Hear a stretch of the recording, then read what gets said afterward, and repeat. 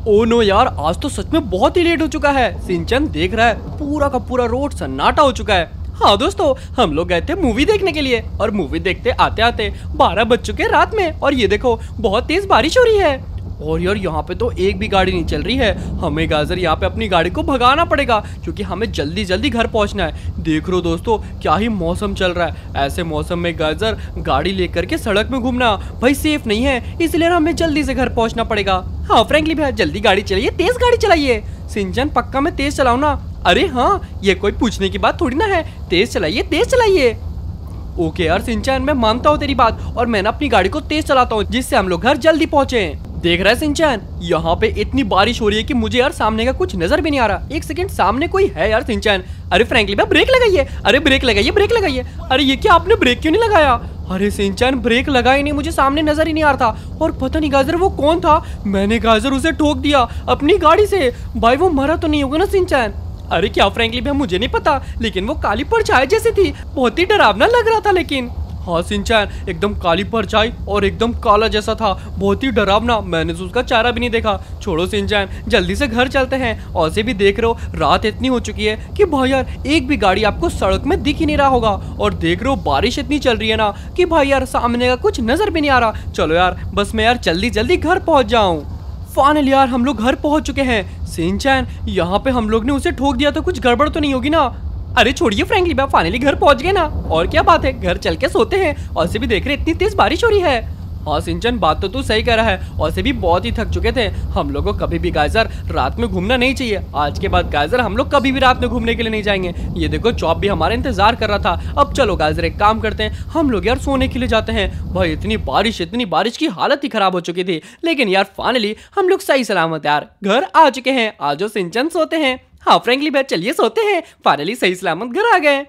लेकिन यार, मुझे समझ नहीं आ रहा कि यार, जो हमारे साथ रास्ते में हुआ है, वो था क्या? मतलब काली जैसी परछाई हमारी गाड़ी के सामने आ गई। और गाजर हम लोगों ने उसे उड़ा दिया। पता नहीं यार, वो क्या था। लेकिन गाजर डरावना पूरा था। अब छोड़ो, ये बात को भूल जाते हैं और सोने के लिए चलते हैं।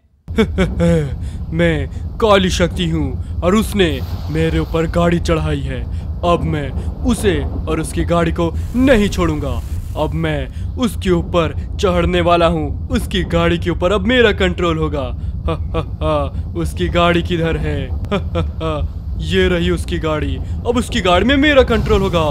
हा, हा, हा, अब ये गाड़ी मेरे हिसाब से चलेगी।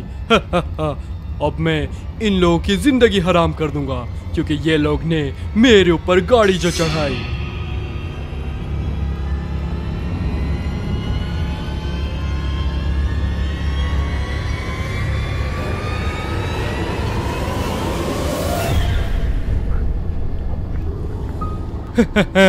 मेरी भटकती हुई आत्मा यहाँ पे किसी का शरीर मांग रही थी। मुझे शरीर तो नहीं मिला बट ये गाड़ी मिल चुकी है। अब इसी से ही मैं यहाँ पे अधूरा काम करूँगा। मैं यहाँ पे अब लोगों को परेशान करूँगा, क्योंकि मेरा वही काम है। लोगों को तंग करना, मैं यहाँ पे किसी को नहीं छोड़ूँगा। लोगों ने मुझे मार दिया था कोई भी मुझे मदद करने के लिए नहीं आया। अब मेरी बारी है, मैं किसी को भी नहीं छोड़ूँगा। यहाँ पे सबको खत्म कर दूँगा। हो सके तो बचा लेना लॉस एंटोस वाले अपने आप को। क्योंकि मैं किसी को भी नहीं छोड़ने वाला। क्योंकि अब से भूतिया कार सबको मारेगा। अरे भाई साहब, इतनी ज़्यादा बारिश हो रही है, ऐसा लग रहा है कि आज तो आसमान ही फट चुका है। एक सेकंड, इतनी आधी रात में, इतनी तेज बारिश में, ये गाड़ी क्या कर रही है सड़क के बीच में? चलो जल्दी जाके पूछता हूँ। मिस्टर, आप रात में क्या कर रहे हैं यहाँ पे? आपको पता नहीं? अभी रात में निकलना मना है। लॉस एंटोस में इतनी बारिश हो रही है।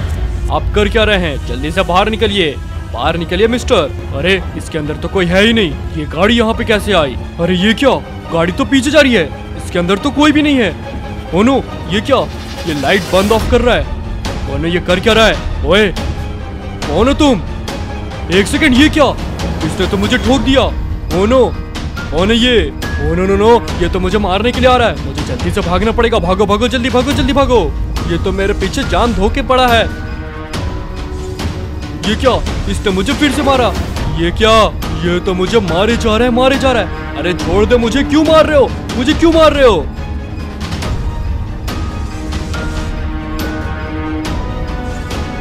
ओ नो ये तो मुझे मारे जा रहा है। रुक जाओ रुक जाओ, वहीं पर रुक जाओ। मुझे मत मारना प्लीज़ कैसे ना मारूं ऑफिसर जब मैं ज़िंदा था, तुम लोगों ने मेरे साथ बहुत बुरा किया। अब मैं भी तुम्हारे साथ बुरा करूँगा। ये लो, मरो तुम।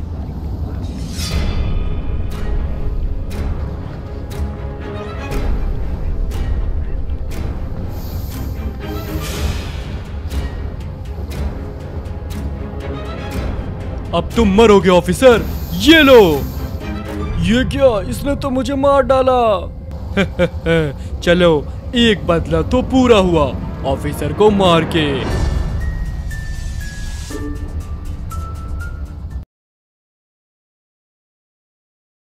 ओके गाइजर फाइनली सो के उठ चुका हूँ। मज़ा ही आ गया रात भर सोने पर। चलो गाइजर मौसम भी तो देखो यार। एकदम साफ़ हो चुका है। सिंचन जल्दी से बाहर आओ। कल रात जितनी बारिश चल रही थी ना सब बारिश खत्म हो चुकी है। अरे क्या सच में फ्रेंकली भैया बारिश खत्म हो गई? हाँ सिंचन, ये देखो, बारिश सच में खत्म हो चुकी है। एकदम साफ़ मौसम हो चुका है। और यहाँ पे देखो कितना सुंदर आसमान निकला है। एक सेकेंड, डोरबेल? भाई, अभी सुबह सुबह कौन आ चुका है? अरे फ्रेंकली भैया, ज़रूर दूध वाला आया होगा। जाके देखिए। हाँ हो सकता है यार, दूध वाला आया होगा। चलो, जल्दी जाके देखते हैं। एक सेकेंड भाई, पुलिस वाले? ये तो दूध वाला नहीं है, पुलिस वाले हैं। और पुलिस वाले घर में क्यों हैं? सिंचन पुलिस वाले आए हैं। अरे, फ्रेंकली भैया, जो कल रात में आपने किसी को ठोका था, उसके चक्कर में तो पुलिस वाले नहीं आ गए ना। अरे हाँ मैंने तो कल रात में किसी को ठोका था दोस्तों। उसी के चक्कर में पुलिस वाले आए होंगे। अब क्या करूँ सिंचन? अरे फ्रेंकली भाई क्या करूँ क्या? जाके सॉरी बोल दीजिएगा। और क्या? हाँ यार, बोल दूँगा सॉरी। और भी कल रात में तो कुछ दिखाई नहीं दे रहा था। मिस्टर फ्रैंकलिन, आप ही है ना? हाँ हाँ मैं ही ऑफिसर। आप सुबह सुबह आए हैं, क्या हो गया? आ, मुझे पता चला है कि कल रात में आपने किसी को मारा है। अरे यार तो सब पता चल गया सिंचैन। अरे फ्रैंकली भैया सॉरी बोल दीजिए और क्या? मैं तो आपको मना ही कर रहा था ब्रेक लगाइए बट आप ही नहीं लगाए। अरे यार मैं कैसे ब्रेक लगाता बारिश में ब्रेक लग नहीं रही थी। माफ़ कर दीजिए ऑफिसर साहब मैंने कल रात में भाई कुछ दिखाई नहीं दे रहा था। इसीलिए मैंने एक आदमी एक ब्लैक शेडो को ठोक दिया था। मुझे नहीं पता था उसके चक्कर में आप आ जाइएगा। एक सेकंड एक सेकंड। Black shadow? ये क्या बोल रहे मुझे एक बात बताइए रात के तीन बजे आप कहाँ पे थे? रात के तीन बजे।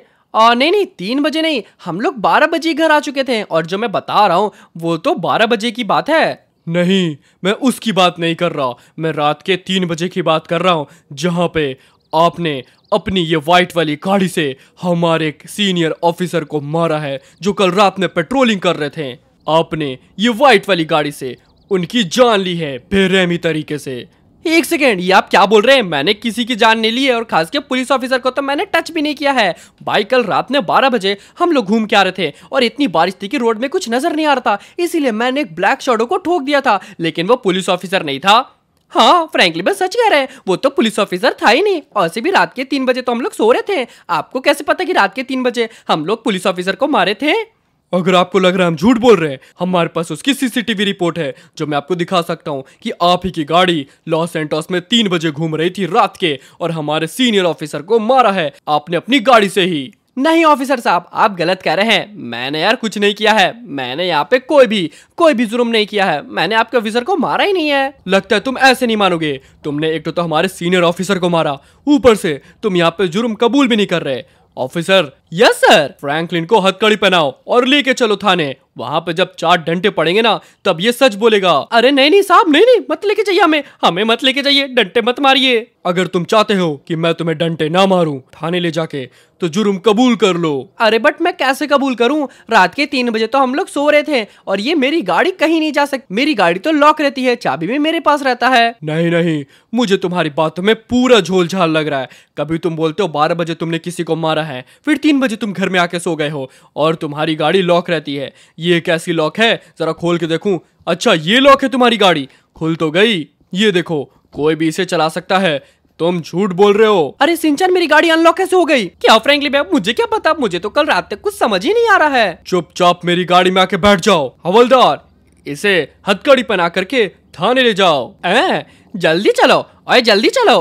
हाँ भाई साहब चल रहा हूँ चल रहा हूँ। चल रहा हूँ आपके साथ। जल्दी आके गाड़ी में बैठो। ओके गाइजर मैं यहाँ पे जा रहा हूँ सिंचन। भाई यार पुलिस ऑफिसर के साथ तुमने अपना ख्याल रखना। ए, चिंता मत करो। तुम्हारे ख्याल तो मैं रखूँगा अच्छे से। थाने चलो। थाने में चार पाँच हथकड़ी पड़ेगी ना, तब पता चलेगा। हर एक बात बताइए। जुर्म मैंने नहीं किया है। पता नहीं आपको मेरी गाड़ी का कहाँ से नंबर प्लेट मिल चुका है, कहाँ से सीसीटीवी कैमरा मिल चुका है? मुझे तो पता ही नहीं है, रात के तीन बजे हम लोग तो घर में सो रहे थे। अच्छा तो मतलब तुम्हारी गाड़ी अपने आप रात के तीन बजे चालू हो गई, रोड में आ गई और हमारे सीनियर ऑफिसर को मार भी दिया। अरे, मुझे क्या पता? इसीलिए तो तुम्हें और तुम्हारी गाड़ी को दोनों को अरेस्ट किया जा रहा है। तो मेरी गाड़ी को कौन लेके आएगा? तुमने तो सिर्फ़ मुझे ही पकड़ा है। ए, जो मेरे बड़े साहब है ना वो गाड़ी को भी ले आएँगे। चुपचाप चलो मेरे साथ थाने। अच्छा यार पता नहीं हो क्या रहा है। दोस्तों आपको कुछ समझ में आ रहा है? तो प्लीज़ कमेंट करके बताओ। मुझे तो कुछ भी समझ नहीं आ रहा। यहाँ पे मैं क्या करूँ? हमें तो यार पुलिस स्टेशन ले जाया जा रहा है। ये गाड़ी ने ही जुर्म किया है। ये गाड़ी को भी अरेस्ट किया जाता है। अरे अब ये गाड़ी को कहाँ ले जा रहे हैं? बच्चे, ये गाड़ी भी थाने जाएगी, तुम्हारे फ्रैंकलिन भैया के साथ। अरे दोस्तों, अब हम लोग क्या करेंगे? अब तो सब चीज़ कानून करेगी। जिसने भी हमारे ऑफिसर को मारा है, उसे जेल में सड़ाया जाएगा। और क्या? अरे दोस्तों, समझ ही नहीं आ रहा, ये सब चीज़ क्या हो चुका है? हम लोग ने तो किसी को भी नहीं मारा है। अब क्या करूँ क्या करूँ, समझ ही नहीं आ रहा है। भाई, मैं तो अकेला पड़ चुका हूँ। पुलिस वाले ने फ्रैंकली भैया को हथकड़ी पहना के लेके चले गए। साथ ही साथ फ्रैंकली भैया की गाड़ी भी। अब मैं क्या करूँ, समझ ही नहीं आ रहा। अरे मैं क्या करूँ दोस्तों?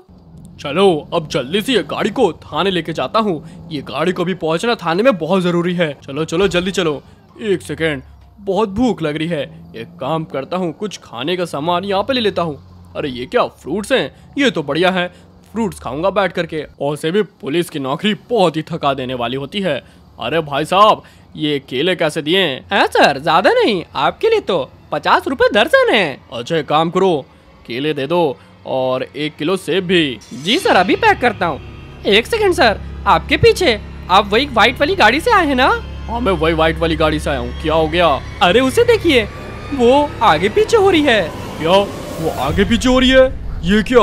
गाड़ी के अंदर तो कोई भी नहीं है। तो ये गाड़ी आगे पीछे कैसे हो रही है? आ, सर ये क्या हो रहा है? मुझे खुद नहीं पता है। ओनो इसने मुझे ठोक दिया। ये क्या? ये तो मुझे ठोके जा रही है। मुझे कोई बचाओ। ये क्या? गाड़ी ने मुझे मार दिया। ये गाड़ी में कुछ ना कुछ तो गड़बड़ है।